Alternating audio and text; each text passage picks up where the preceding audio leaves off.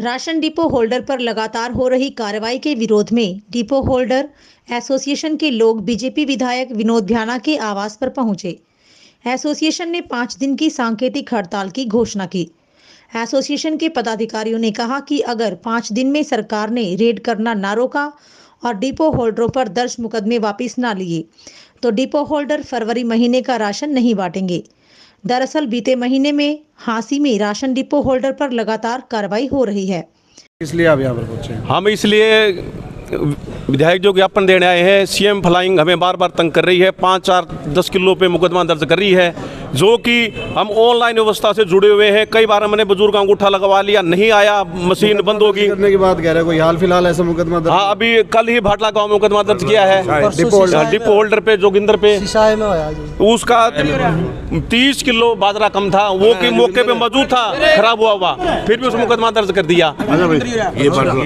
तो किस वजह से कम था इनका कुछ? ये इनका जैसे हम बांटते हैं जी मैंने सौ कुंटल मात्रा बांटा है उसको बार दस किलो दो किलो तीन किलो में दिया है। सौ किलो को आप डिवाइड करोगे तो कितना किलो का कम हो जाएगा? ये तो आम आदमी समझ सकता है। और तो ये क्या मांग है जो हमारी ये ये सारे मुकदमे खारिज किए जाएँ। और हमें छूट दी जाए भाई आप अपना राशन पूरा कर लो आपका राशन कम है। कितने मुकदमे दर्ज हो चुके हैं? हांसी में लगभग सात आठ मुकदमे दर्ज हो चुके हैं कोई गिरफ्तारी भी हो चुकी गिरफ्तारी तीन गिरफ्तारियाँ हो चुकी हैं। बाकी को मतलब जमानत के लिए ये कार्रवाई ना रुकी रेड ना रुकी तो आपका क्या फैसला हम फ़िलहाल पाँच दिन हड़ताल पे हैं उसके बाद भी सरकार हमारी बातें नहीं मानती तो हम ऐसे इंतकाली भी हड़ताल पे जाएँगे।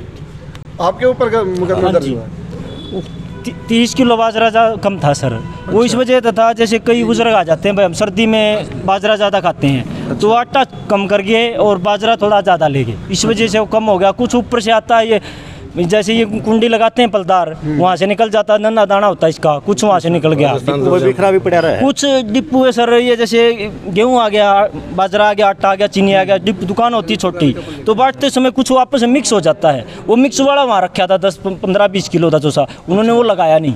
मैंने कहा सर ये मेरे पास ये है। मेरा बाजरा पूरा है लेकिन थोड़ा आटा फालतू है दो बंदे हुए अंगूठे लगे हुए। आप उनसे बात करो आपको कार्ड नंबर दूँगा मैं और उनका फ़ोन नंबर दूँगा मैं आपके पास बैठा हूँ आप अपने आप फ़ोन करो। उनके बच्चे अंगूठे लगा के तर हमारे माने नहीं उस समय। नहीं अधिकारी नहीं माने। अच्छा अब आप क्या तो टोटल मेरा तीस किलो का डिफरेंस था उसकी वजह से उन्होंने मेरे ऊपर एफ़ आई आर करा दी। तो अब आप क्या चाहते हैं इस मामले में? मैं मेरे ऊपर ये एफ़ आई आर हटाई जाए और मेरा डिप्पू दोबारा से शुरू किया जाए। बस ये चाहता हूँ।